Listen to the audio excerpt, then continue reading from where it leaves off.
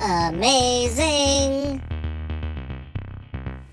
Well, hey, Chris here from Amazing Fun Fit and Travel. You see, I'm not a handyman at all. I can't do plumbing, I can't do electrical. So what do I do? I see this bidet online for 25 bucks and I'm like, heck yeah, let's try it. Let's see what I can do. So I buy it.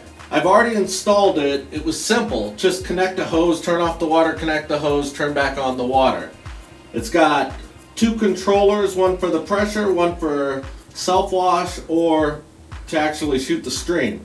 So we're going to try it out. We're going to put it on the self-wash and then we're going to just add some pressure and see what it looks like.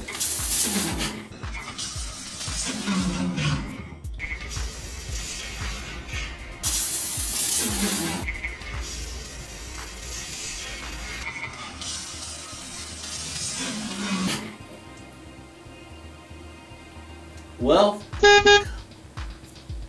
that didn't work out well.